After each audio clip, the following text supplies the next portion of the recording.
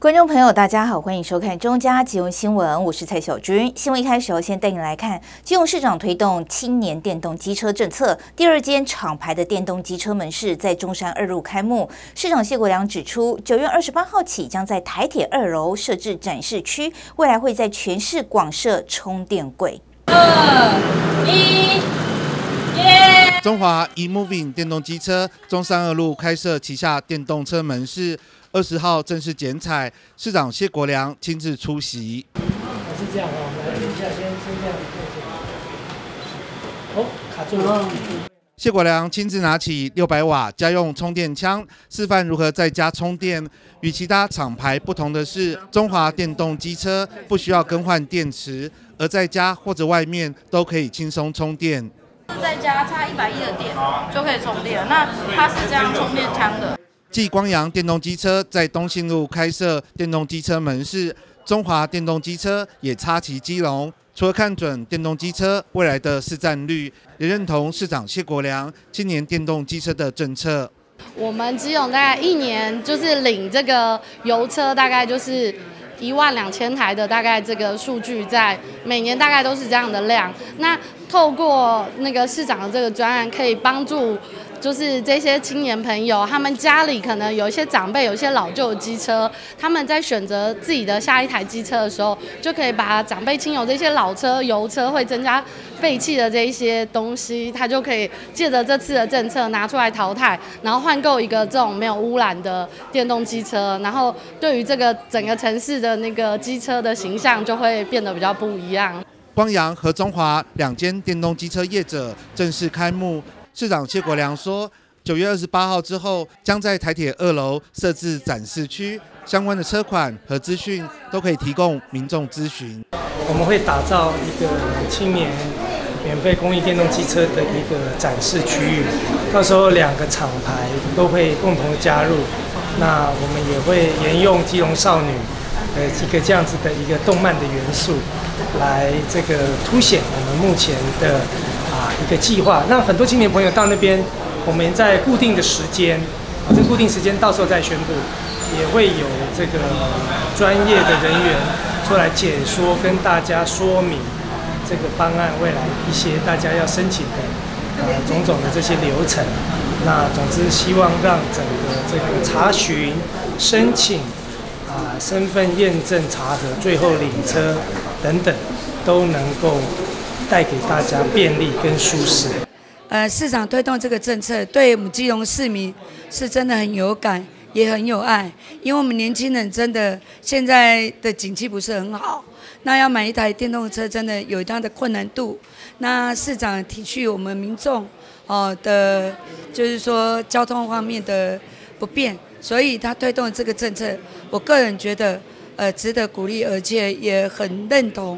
啊，也希望，因为我们基隆市是一个山丘的地段，对，几乎对机车对我们基隆人来讲，相当的等于是必需品，所以说一个家庭几乎都有两三台，呃，所以我我觉得这个政策很好。依据市府规划，预计明年每个月都能顺利交出一千辆的电动机车，目前正积极扩建充电站和充电柜。希望充电设备能够普及，让电动机车族群上路更方便。记者黄少明基隆报道。超萌又疗愈的三 D 胖橘猫落脚基隆喽！由智威集团在基隆旧火车站顶楼打造全台最大裸视三 D 弧形荧幕，昨晚正式启动。实境体感基地，一起来共襄盛举，我们全台湾最大。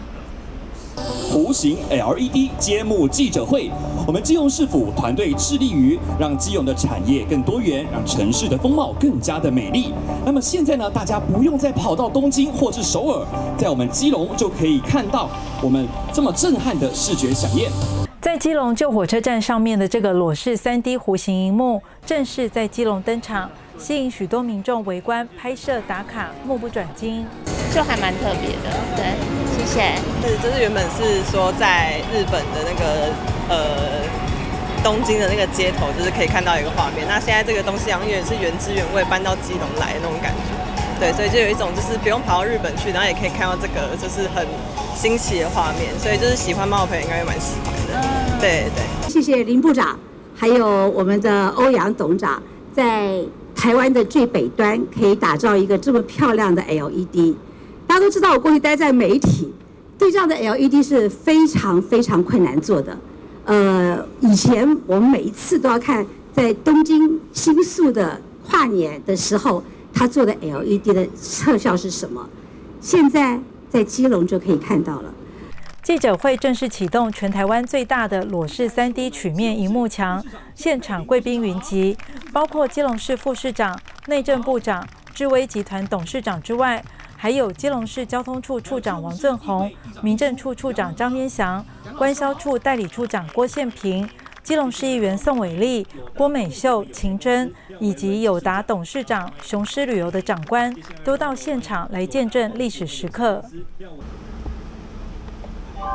哦，开始不一样了。好，那么也请部长帮我们手压到这个呃启动按钮。可爱的外星生物胖橘猫将正式的长期居住在我们基隆 a n i v e r s e 成为大家的后宿癖啦。帮它取什么名字？呃，我想要帮它取吉古拉。为什么？因为是基隆的一个特殊的叫法，然后它又是黄色的，就很符合。对。不错，跟现场的朋友们。对啊，因为他现在叫胖橘猫，我觉得取名叫吉布拉很不错。哎，我部长觉得？呃，我觉得还蛮适切的，这个呃圆圆胖胖的，而且颜色也很像啊，所以如果有这个选项的话，我也投他一票，吉古拉。哎，不错不错，真的不错，我觉得。对，而且又有基隆在地的这个意象啊，对，跟我们美食又结合在一起，对。OK。那个有人讲说叫吉古拉啊，哎，这个好啊，这个名字也好啊，这样这样。然后也是基隆美食哎。对，我没我没想到这个哎。对啊。然后再加，把它加颜色长得一模一样，列入选项。选项。呃，我非常开心，我很感动，我们延续了林部长的政绩，谢谢。呃，我们让基隆这个地方可以变得更美好。我常说，政策是延续性的，呃，一棒接一棒。呃，我们要让林部长放心，我会努力把这个地方打造的如您所在的时候一样的要求。呃，大家都在基隆，大家都在台湾的最北端，我们都希望基隆可以更好。确实，基隆要亮起来，要变更好，需要所有人共同来努力，包括地方跟中央、政府跟民间共同来推动。看见行动，就看得见基隆的愿景。记者黄日升、陈淑平，基隆报道。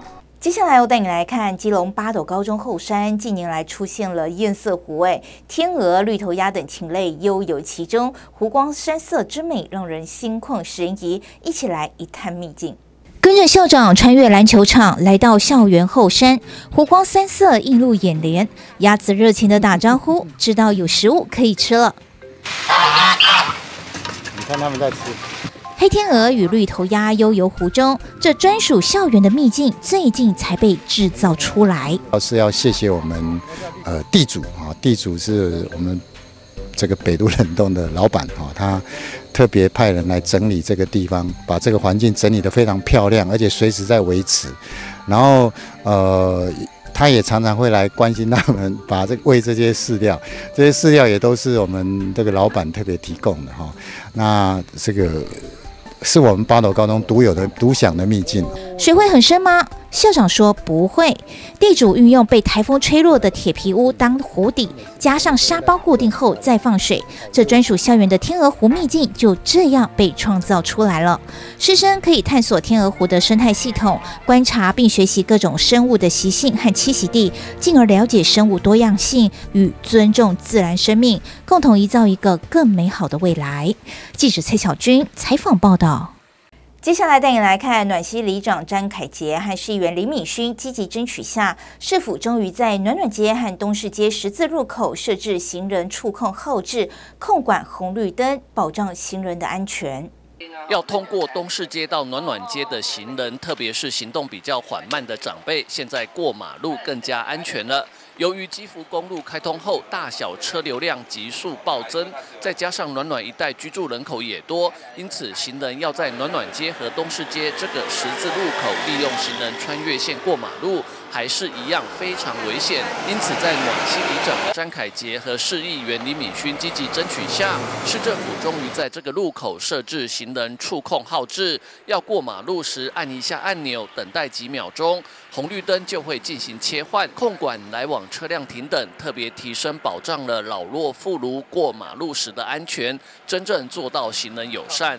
因为这个基福公路哈，以先前是因为那个呃六日的时候车比较多，那现在其实疫情解封之后，平日的时候的车也车流量也非常的大哈，那所以说很多长辈啊跟很多朋友说，哎从这个我们正二号桥这边要过去到对面哈，不管是这个呃我们有应公庙或是这个矿矿煤矿的这个遗址哈，要走过去运动公园，其实这个车。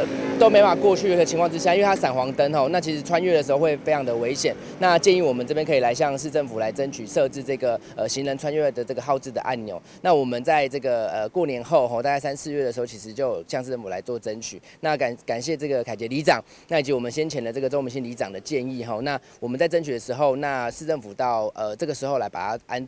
设置完成哦，那因为先前是有这个呃需要采购设备，然后跟这个行政程序的的这个流程当中吼，那所以说我们在这个九月把它做一个完成，那让民众吼可以过马路的这个长辈跟民众会更加的呃安全吼，那也是希望大家可以多多的利用吼，那因为车流量真的蛮大的，那大家在过马路之前可以先按，那号等它号字跳到我们可以行走的号字的时候，我们再通过会比较安全。因为附近的民众一直常常常跟凯杰讲说。在他如果要回家过个马路，必须一直要等到完全没有车。但是就因为基福公路有开通这条路之后，然后后来常常发生车速过快，因为这边也有一个弯道，然后会常常很容易发生意外。然后也谢谢我们敏勋议员帮我们争取这个穿越道道路行人按钮。市议员李敏勋进一步表示，在这个十字路口的四个角落都装设有行人触控号志按钮，也提醒民众记得过马路时务必先按一下管控红绿灯变换后，行走行人穿越线尽快通过，既方便又安全。记者吴俊松机动报道。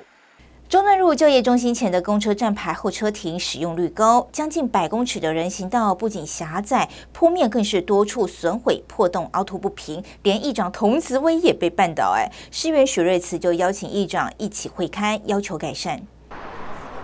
来到中正路候车亭，一旁人行道老旧，瓷砖破损不堪，要走路都很困难。太多了，而且太窄，也不好走。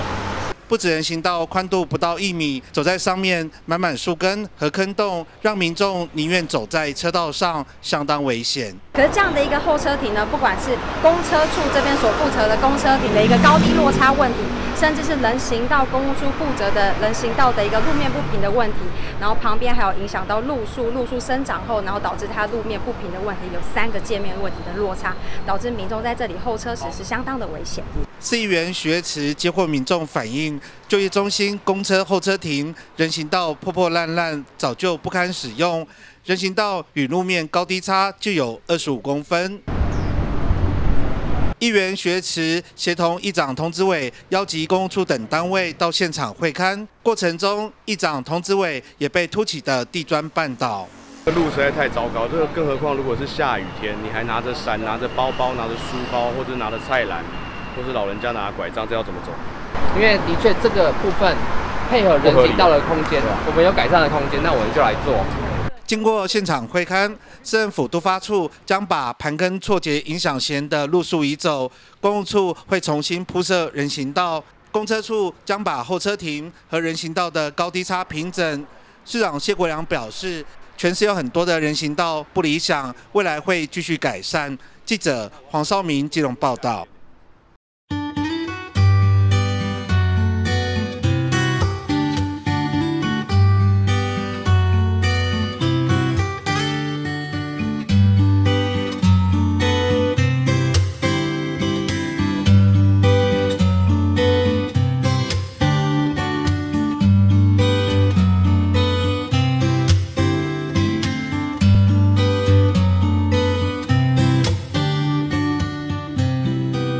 你会选购一级能效的家电，但你的节电等级却只有五级。现在开始改变你的用电习惯，冰箱只需八分满，滤网定期两周清。冷气设定二六至二八度，玩转时间进化一级节电玩家。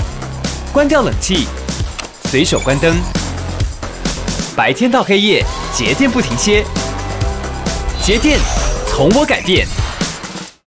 星期一多多运动走楼梯，星期二随手关灯要贯彻，星期三衣物日晒自然干，星期四定期保养勤擦拭，星期五冰箱秒数认真数，星期六节电插座要使用，星期日节电天天是好日。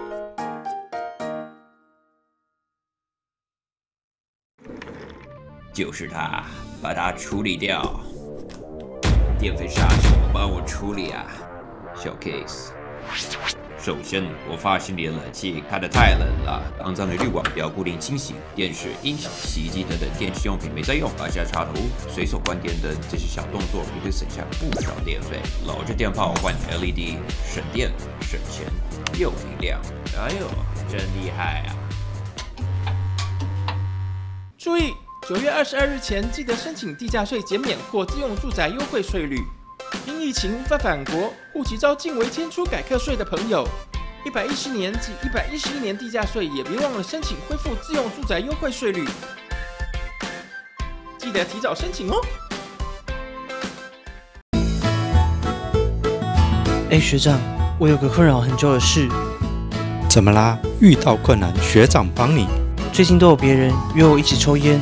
学长，你可以教我怎么拒绝吗？邀你抽烟的人真可恶，让我来教你拒烟。你的鞋子很好看耶，在哪买的？我很不喜欢烟味，烟味很臭。刚刚老师叫我，我先过去哦。我身体不好，常常过敏。你是我最好的朋友，这对身体不好。为了健康，不要再抽了啦。抽烟很浪费钱哎，我想存钱一起去吃好料。呃，抽烟会变老，我才不想跟你一样看起来好老。我很胆小，连糖果都不敢吃了，更何况是抽烟。谢谢学长，你好厉害哦。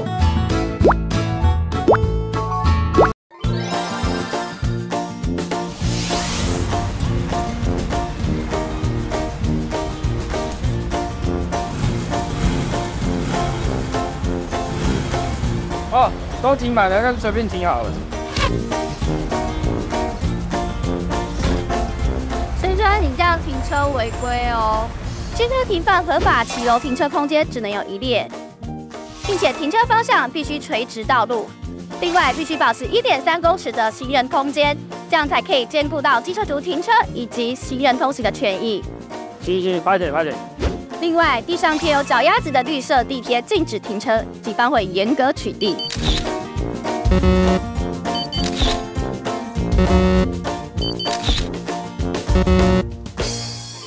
绿脚丫主要就是要提醒，不可以将店面、杂物、盆栽、机车放在绿脚丫上面，让行人甚至行动不便的朋友们能够方便通行。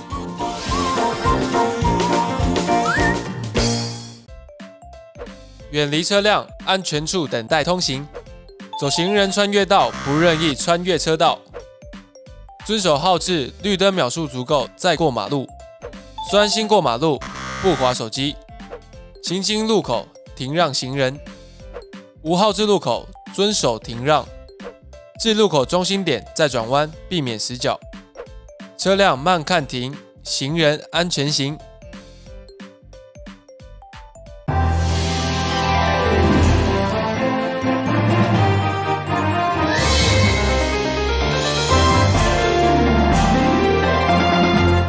欢迎回到中嘉新闻现场。中秋节快到了，卫福部基隆医院营养师鼓励民众试试兼具美味和健康的地中海串烧，减少过多的油脂跟胆固醇的负担。您没有看错，卫福部基隆医院副院长陈维达和营养师林玉婷以及杨秀宇。端出色香味俱全的串烧，还没有烤就已经让人食指大动。这也不是医生和营养师斜杠人生想要卖起串烧，而是因为中秋节快到了，许多民众都会和家人或好朋友们聚在一起烤肉赏月过节。卫福部基隆医院则是鼓励民众可以试试看兼具高纤高钙抗氧化的地中海串烧，更独家推出了宁香鲑鱼串烧、旺来嫩鸡串烧，以及适合吃素民众享用的鲜蔬豆腐串烧三种口味，多了美味和健康，减少过多油脂跟胆固醇的负担。失智症的饮食研究里面呢，大部分最推荐的也还是地中海饮食为主。所以其其实各位可以把这个讯息哦传递给这个民众，我相信民众会知道说哦，尽量吃食物的原型，不饱和脂肪酸占比比较多，然后红肉偏少或加工品变少，这样子就是基本上比较符合我们呃健康保养的原则。今天设计的地中海串烧啊，主要呢有六个特色，我们选择了多元态、多蔬果以及多色彩的食材。来进行设计，那可以得到的就是我们富含优质蛋白质的串烧，并且钾含量是比较高的，钠含量是比较低的，对于心血管疾病是有保护的功能的。好，首先跟大家介绍到的就是旺来嫩鸡串烧，所需的食材包含凤梨、鸡胸肉、青椒、茄子，还有蒜苗。可以看到的是，我们使用到了非常丰富的蔬菜来源，各种颜色都有，尤其是当中的凤梨。凤梨呀，它因为本身带有酸甜味，所以跟鸡肉一起烘烤的话呢，吃起来会更加的鲜美，而且还可以减少调味料的使用，低钠高钾是更为健康的。那么第二种串烧呢，是海鲜，是宁香鲑鱼串烧，使用的食材包含鲑鱼、小番茄、洋葱、黄椒，还有芦笋。那这个串烧呢，它的特色就是颜色非常的丰富，不管是绿色、黄色、红色、白色都是有的哦。我们刚刚有说到不同颜色的蔬菜水果啊，它当中的植化素是不一样的，因此你吃了这一串串烧就可以摄取到非常多种的植化素种类，还可以帮助抗氧化。那有些人呢会担心鲑鱼啊比较有海鲜独有的腥味，那所以我们可以使用一些黑胡椒、新香料或者是柠檬来进行提味。针对素食的族群设计的素食者也可以吃的鲜蔬豆腐串烧，使用的食材包含板豆腐、海苔、香菇、红椒、秋葵以及玉米笋。这个是呃串烧的特色啊，我们可以看到我们使用素食者非常重要的两个食物来源，就是菇类还有藻类。菇类当中啊，富是富含维生素 D 的，那么藻类呢当中富含维生素 B 十二，对素食者都是非常重要的营养素。那因为板豆腐当中啊也是非常好的钙质来源，所以我们可以看到这一份串烧两串的钙质就高达了将近两百毫克哦。那以上介绍的这三种串烧啊，取得食材都非常的方便，而且一串都不到一百大卡。营养师也建议民众，许多长辈都有牙口不好的问题，因此可以采用天然的凤梨心榨汁来腌制鸡肉和猪肉，让肉品更软嫩，方便长辈咀嚼享用。另外，营养师也推荐可以用天然的柚子调制成柚香烤肉酱，可以吃得更健康。心动不如行动，今年中秋烤肉不妨试试看。基隆医院力推兼具美味和健康的地中海串烧。记者吴俊松基隆报道。从佃农资质到基隆海边独居画家，现年八十岁的刘富宏，目前正在台北市著名的顺义台湾美术馆，以海角新乐园为主题开设个展。在外木山的个人画室中，刘富宏细细地讲解多幅画作的构想和当初作画的意境和心境。从佃农之子到基隆海边独居画家，现年八十岁的刘富宏，目前正在台北市延平南路五号三楼著名的顺义美术馆南画廊，以海角新乐园为主题开个展，到九月十七号为止，展出毕生画作的精华。基隆市副市长邱佩玲也亲自前往欣赏，并且买下画作，赞赏刘老师的画作颜色大胆，构图独特，将海洋人文化也将画作故事化，更用绘画技巧描绘出基隆的美。顺义美术馆也收藏他的画作。已经独居在基隆市外木山地区三十多年的刘富红，现在最大的希望就是用捐赠或是卖画的方式，让有关单位或是个人收藏他数百幅用人生画下的画作，不要就此消失。这个是最重要的目的，因为一个人你毕生的心血留在这边，到最后毁于一旦的话，就变成没有意义。而且这个呃很多东西，我你现场这个时代的美感，呃，也许等到下个时代，所有海边的景色已经面目全非。还有，甚至有的我们看得到的，再过几年，也许是完全不一样的。那么这些东西可以说在这一段时间的一个一个活生生的见证，我是觉得能够保存下来，呃，给下一代也是一个一个一个这个这个是叫怎么讲？就是等于留给下一代的一个资产。刘富宏老师的画作许多都是以居住地外木山海边，或是基隆，甚至是东北角和北海岸以及宜兰海边的景致为主题，也有许多以野百合等植物为画作基础。除了开个人画展，也欢迎对于艺术和画作有兴趣的社会各界，到他位在外木山，也就是基隆市文明路三十九号，外表是一栋象征海洋风情的蓝白屋个人住宅画室。参观指教、收藏画作，艺术的东西哈，个人看法不一样。那么我们画图的人，最终的就是我不断的提供新的视觉经验。比如说，你没有看到这种颜色，啊，那我们创造这种颜色。啊，你比如说那张黄色的，当然我们你从来没看过。那我们提供给大众，没有看过海水会这样子走的，那我们提供给大家欣赏。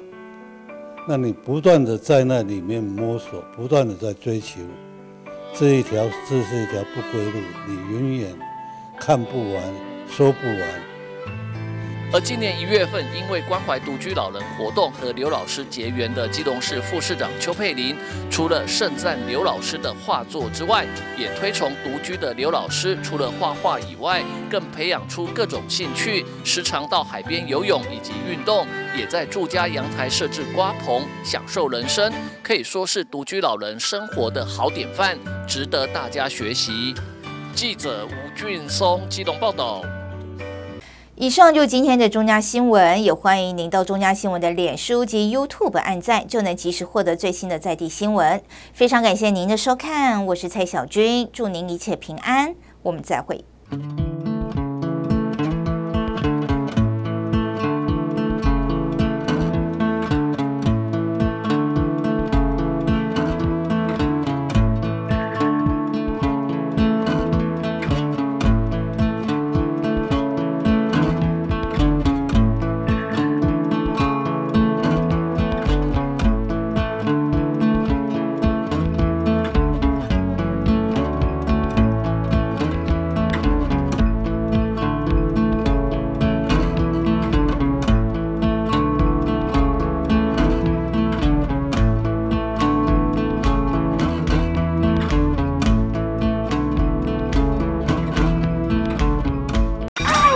有如童话故事般的咖啡店在哪里呢？